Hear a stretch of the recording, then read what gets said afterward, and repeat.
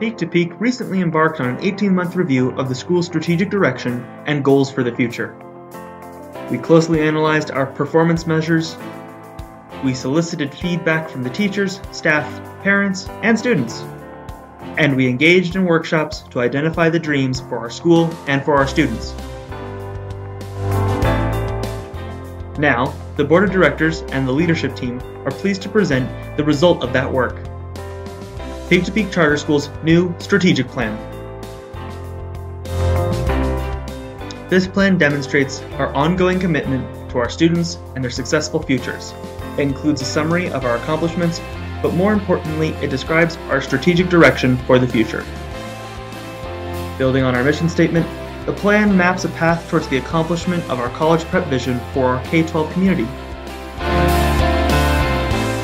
The plan is divided into two parts innovation, and excellence. To prepare students for the future, Peak to Peak must identify and pursue innovative solutions in education. With that in mind, we present our aspirational goals for the students, staff, and school, and the outcomes we hope to see.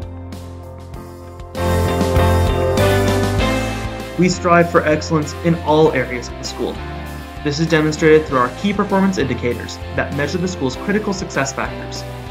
These indicators are the foundation upon which our success is built and make possible the aspirational goals and strategies.